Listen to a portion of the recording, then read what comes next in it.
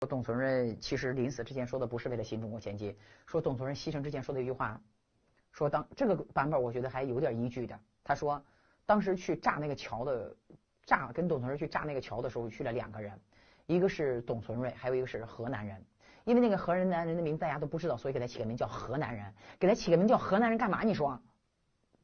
去炸的时候，当时因为他要炸那个桥，就这个炸药包要紧贴那个桥面。要不炸不了怎么办？所以当时没有支撑点，因为他要撑住那个炸药包呀。这个炸药包怎么放都放不好，放到哪都不行，他需要一个支撑点呀。结果这个河南人特别聪明，说小董，你先用手拿着炸药包在这等我，我我我去我去去就回，我找个棍，咱们把这个炸药包给顶起来，咱们就可以跑了。结果这个河南人跑了，再也没有回来。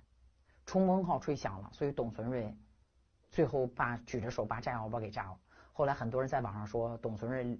临牺牲前说的一句话叫做“不要相信河南人”，呃，这个这个事儿不知道，但是我听说这个逻辑性更强一些，你发发现没有？